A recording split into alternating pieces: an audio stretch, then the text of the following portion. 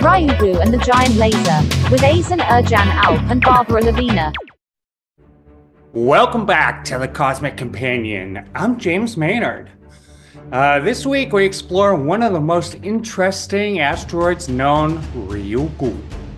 Uh, the Hayabusa 2 spacecraft recently collected samples from this mysterious object, bringing fragments of the rocky body to Earth in December of 2020. Uh, Ryugu could help researchers uncover the mysteries of the early solar system, as examination shows this asteroid was likely born when our planets were still in their infancies. Now, the makeup of Ryugu is similar to breccia rocks, a type of sedimentary stone formed on Earth uh, when piles of various types of rocks merge together. Now, this ancient asteroid likely formed from the breakup of a larger body long ago in the earliest days of our solar system. Rotating quickly, this intriguing asteroid developed a bulge near its equator, giving Ryugu a faceted shape similar to a loose diamond. Now, Ryugu stretches about 850 kilometers in diameter, but this is not a solid body. Around half the volume taken up by Ryugu is empty space. Astronomers have spotted over 4,400 boulders on the surface of Ryugu, together with nearly 80 craters. Dozens of surface features named after characters and places from children's stories have been officially recognized by the International Astronomical Union. They're the people who actually name stuff in space. Now, analysis of material from Hayabusa 2 reveals the presence of 20 forms of amino acids, one of the building blocks of life. Now, this doesn't mean there are rock creatures living inside of Ryugu. There's no such thing! Yeah! But this finding is a remarkable reminder of the prevalence of complex organic materials throughout the cosmos. This asteroid is rich in phyllosilicates, which form mica like structures, as well as carbonates, uh, salts formed by carbonic acid, like those found in carbonated beverages. It's swell. Now, discovered in May of 1999, Ryugu looks like a rubber ball stretched over a three dimensional diamond formed just about 2 million years after the solar system itself began to coalesce. Ryugu orbits the Sun at roughly the same distance as the Earth. Next up, we talk with physicist Esen Ercan Alp, senior astrophysicist at Argonne National Laboratory, and Barbara Lavina, beamline scientist from the University of Chicago, as well as Argonne. This pair, along with other researchers, have spent the last year examining samples of this incredible asteroid using, among other tools, a laser 1100 meters across. That is over a thousand times as large as an adult hula hoop. So let's hear about Ryugu and the giant laser.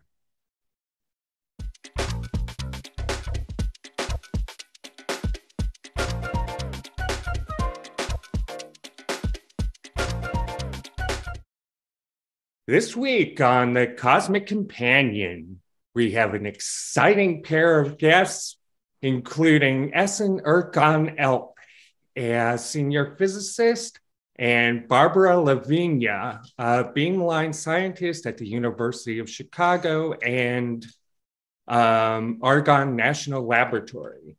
And these folks have spent the last year coming up with some fascinating new findings about the asteroid Ryugu. Welcome to the show, both of you. Thank you. Thank you for having Thank us. Thank you. Thank Yeah. you. Yeah. So, um, first of all, I'm going to start with you, Ercan. Uh, can you tell us a little bit about your findings and what we've learned about Ryugu? Sure. Thank you for having us. This is our second opportunity to be on your show. Yeah. And uh, It's great having you so- back. Yeah. Uh, if you remember uh, from our last conversation, uh, Hayabusa 2 mission has been launched around 2014 to land on a asteroid piece called uh, Ryugu mm-hmm. and bring back some samples so that we can put our hands on it. And the mission was uh, carried out in February 2019, and about uh, a year it took to get the samples the way they like it. And then at the end of 2020, the probe landed in somewhere in Australian deserts. Mm. And the samples were then collected to Japan, uh, cataloged, curated, and then analyzed. Naturally, there were a lot of interest in these samples, so they formed teams, and we were part of the STONE team. STONE team main purpose was uh, to find out where and when the asteroid formed in much part of the solar system, and what is the original mineralogy, chemical composition, and physical composition, physical properties. And from this information obtained, how can we reconstruct the evolution of the parent body and why did it break up or what happened? When did it break up? Mm-hmm. So, so there were definitive questions at the beginning, and in order to, to answer those questions, they had to carry out uh, dozens of uh, different techniques. The total amount of material that came was about 5.6 grams, two thirds of which was curated for the future, and the remaining two grams has been distributed around the world uh, to several synchrotron radiation sources like us. Mm-hmm. Um, we wanted to join the team because we have a very specific spectroscopic tool called Mössbauer spectroscopy, which we can carry out in the lab as well as in the synchrotron. We are unique in that sense. So, two years prior to the arrival of the Hayabusa uh, mission, we requested some unknown samples from Japan to show that we can work, work with microscopic samples. And also with our French collaborators, we were able to obtain some special meteorites called CI meteorites. Mm-hmm. These are called Ivuna type uh, meteorites. Uh, Ivuna is a is a place in Tanzania where a, a meteorite formed uh, in it fell in 1936. The, what is special about Ivuna type meteorites is that there are only four or five of them in the world. Uh, they are not very common. And we didn't know until the Ryugu samples were analyzed, we didn't know why they were not that many. It turns out that Ryugu was so porous and so soft that it would not survive entry to atmosphere, so there are only very few of them in the world. So uh, with with that, we were relatively well prepared, I would say. Maybe Barbara will agree with me on that. That we we we had a good idea how to start. The samples arrived in very pristine conditions, sealed in nitrogen packages, in uh, and um, we analyzed. We analyzed. We tried to understand our results. We communicated them to Japan, Japanese colleagues as well as our French colleagues we are still in the midst of analysis, I would say. Our initial analysis results were published in Science last week. We were part of that team. But uh, we did find out some interesting uh, uh, things like um, presence of sulfides, which is not very common in the other CI chondrites, uh, like Orgueil, where we looked at uh, the Orgueil meteorite. There were no signs of sulfides. Um, presence of magnetite was important to the stone team because they could say something about the magnetic fields. And um, at the end of the day, uh, stone team reached some strong conclusions. Uh, and these conclusions were were uh, able to go through a refereeing process and the findings and the conclusions seem to be consistent enough to be published. That's great. And that leads right into you, Barbara, given your knowledge of geology. Can you tell us like what excited you most about your findings and and what, sure. makes this rock so magic? yes. First of all, it is truly magic to hold in your hand something that made that journey. It is very unique because um, um, um, it is unique among the unique, right? Meteorites of that kind are already unique. They come on the uh, from the sky, and occasionally we find one of that type, which is the type that tells you tells us a little bit more about uh, the solar system before processes like Earth formation occurred.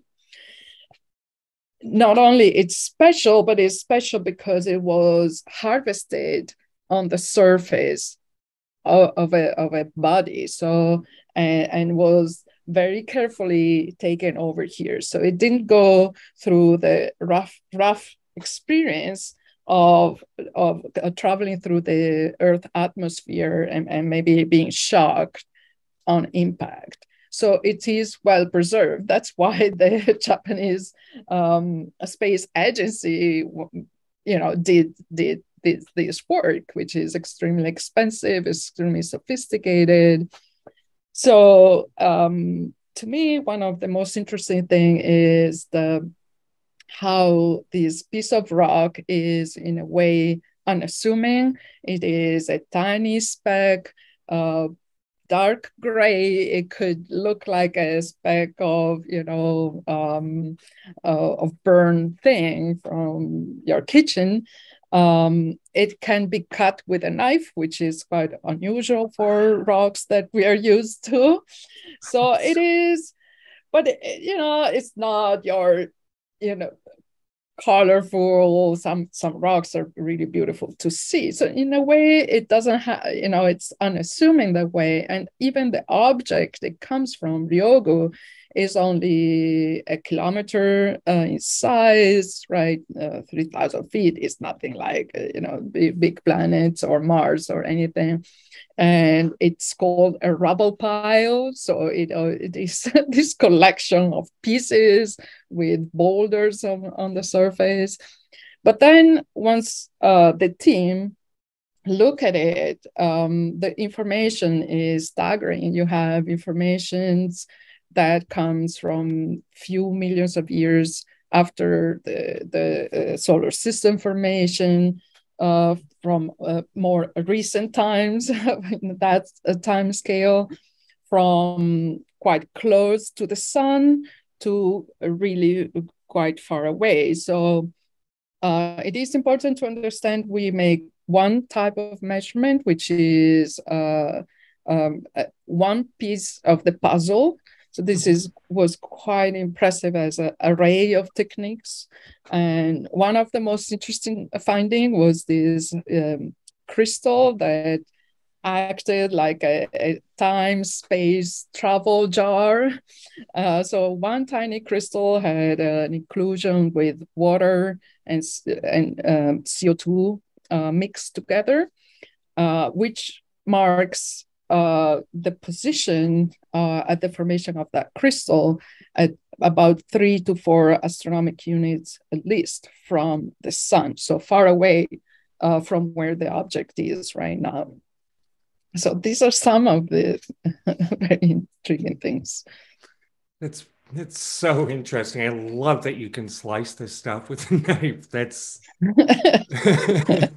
interesting fact of the day right there.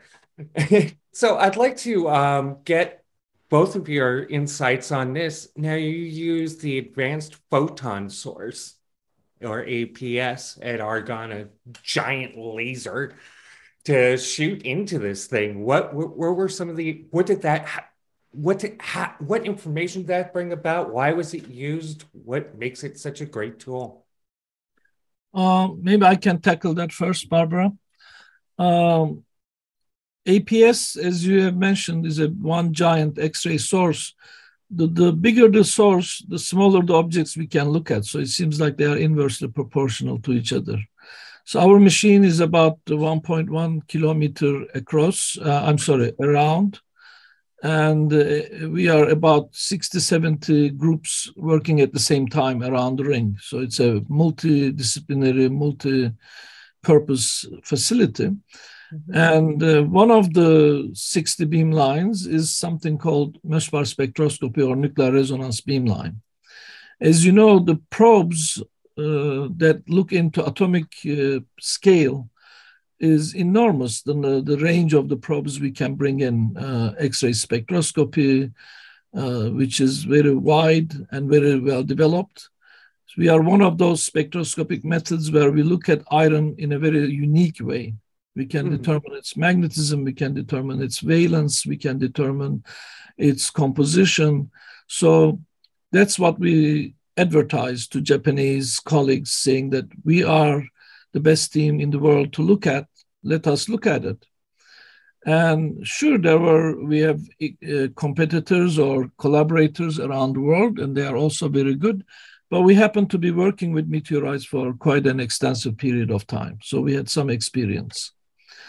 Um, what what unique things we learned uh, from that the stone team could use was uh, quantification of the magnetite and, and pyrrhotite.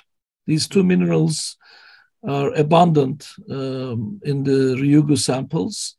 Even though the rocks were very soft, as Barbara had mentioned, that can be cut with a knife, that's because the water inside the pockets were evaporated at some point and left behind a very porous medium. But the minerals themselves are not much different than the magnetite we are familiar with, or pyrrhotite, which is an iron sulfide we are familiar with. In addition, we found some clay minerals. So our struggle has always been to quantify these in a reliable way. And uh, we are still not com- completely confident that we have solved every piece of the puzzle, but at least we provided the key information on the presence of magnetite and pyrrhotite so that the um, measurements done with electron holography could determine the origin of the magnetic remnant magnetic field. And that information was important because it proved that the parent body of the Ryugu was formed in the outer solar system beyond Jupiter because it has something to do with the temperature of the formation.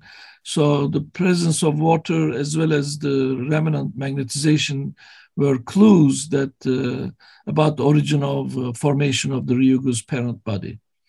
So, so the you, you you go from a tiny speckle, as as Barbara tried to describe, um, to solar system in in one night, which is quite exciting.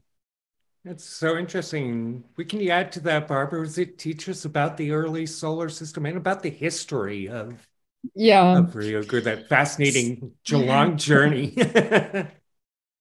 yes. So um, iron in rocks, in the vast majority of rocks, is, is a quite a special element because it, it is very sensitive to basically the weather conditions. Mm-hmm. And um, to understand that, you can think about uh, the experience that some of the audience might have of purchasing a car. Uh, if it is a used car, you might want to go and see whether that there are rust spots around, mm-hmm. right? That rust spot tells you whether the car was driven in Chicago or in California or in Arizona. Basically, wh- whether that iron that makes part of the steel body of the car experience sometimes of oxygen, salt, temperature conditions. The very same happens with iron within um, each of the components of a rock. Rock's typically made of whole sort of parts, uh, which are minerals, right? We, we know the many of them. And each mineral that contains um, iron, it's basically a sort of like an oxygen sensor, a humidity sensor. And so by the, the techniques that we do here probe each uh, the iron in each of these phases and tells us something obviously in the context of much broader knowledge uh, of, of the response of minerals to these conditions. It tells us oh there was this much oxygen it could be in that conditions and these other conditions. So we learn from the relatively low oxidation state. So it's basically not very much rust up, these, these Ryugus, that there wasn't very much oxygen around. Uh, hmm. and so it's uh, much lower than any that the meteorites that are closer. So this makes it, it a very unique uh, specimen, uh, and it's and so we learn something about a very specific uh, place of formation about the oxygen con- content and um, gain and loss of oxygen. Right. Hmm. If I, if I may add something, James, yeah, why course. we are so unique in iron.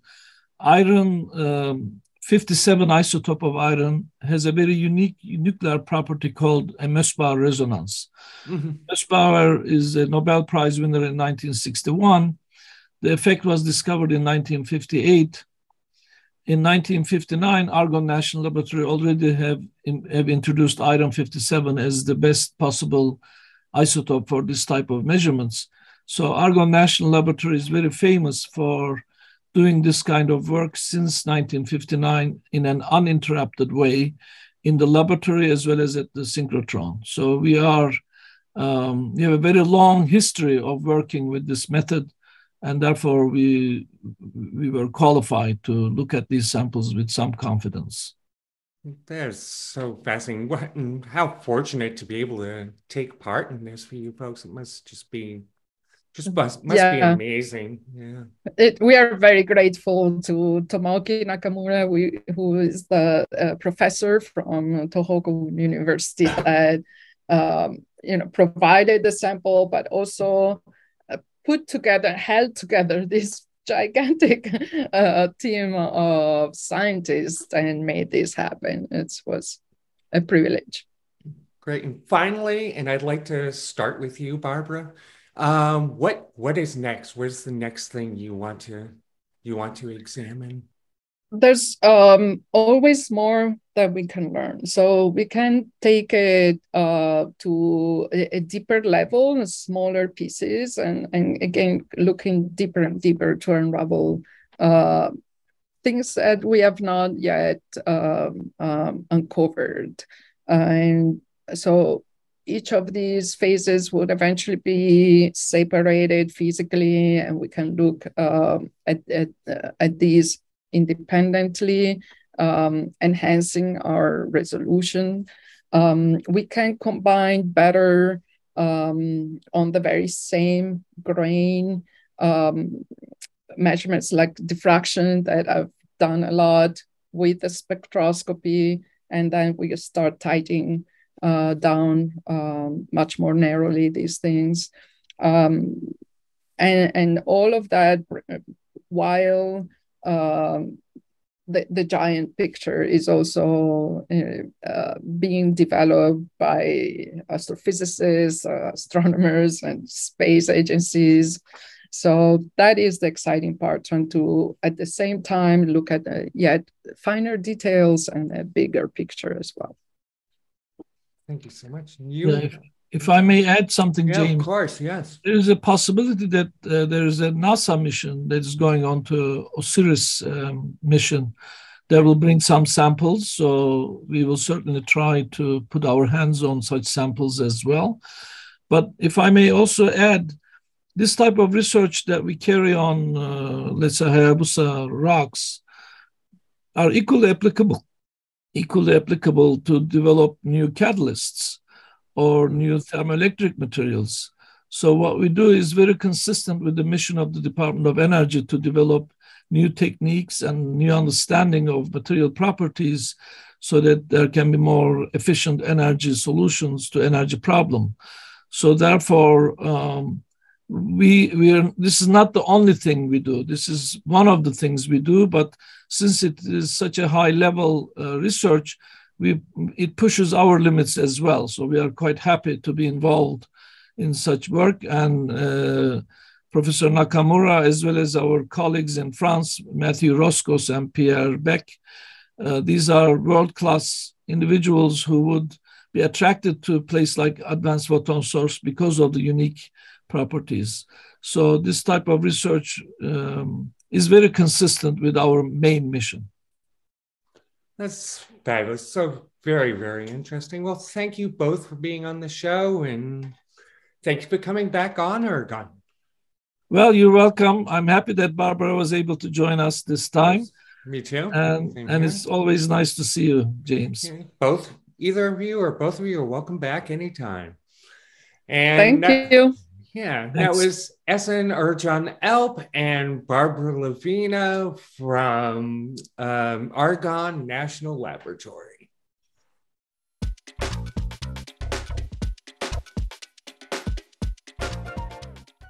Asteroids hold on to some of the oldest pristine material in the solar system. No air, no life, no water there, not a bit of erosion. Now, asteroids strike the Earth all the time, but these bits of space rock are fried coming through the atmosphere and exposed to ground, air, and water when they land, polluting the original materials from which they're made. Four and a half billion years of chemical cookery ruined in a matter of seconds only by sending spacecraft on sample return missions can scientists get pristine collections, however small, of these ancient pieces of the solar system. The Japanese Hayabusa 2 mission launched on the 3rd of December 2014, arriving at its destination 300 million kilometers from Earth on the 27th of June 2018. Now, once at Ryugu, Hayabusa 2 deployed a small lander and a pair of rovers on the surface of this mountain in space. On the 22nd of February 2019, the spacecraft fired an impactor into Ryugu, creating an artificial crater and collecting material from beneath the surface of this ancient piece of our solar system. Hayabusa 2 then set off back home to Earth carrying its 5.4 grams of precious cargo, about the weight of a teaspoon of water or an American nickel. A similar mission headed by NASA, OSIRIS REx, collected a sample from the asteroid Bennu in October of 2020. That payload, payload should arrive on Earth in 2023 and NASA and JAXA, the Japanese Space Agency, have agreed to share samples so everybody gets to get in on the good science. These missions and the crews on the ground examining materials returned to Earth for analysis will help us learn more about the ancient solar system, including the formation of planets, including the Earth. If you enjoyed this episode of The Cosmic Companion, I hope you did. I'd love it if you could share this show with your friends, family, or heck, even that person you sometimes talk to for a couple minutes here and there at the coffee shop. Yes, them. And let me know what you thought. Please comment, download, share this program anywhere you share the stuff you like. The more the merrier, am I right? Right. Join us next week for the first of a new series as we learn why we explore space. Curing climate change. We'll be talking with Alan Gratz, author of Two Degrees, a new young adult novel from Scholastic Press. To see you starting on Wednesday, 9th of November. Until then, clear skies.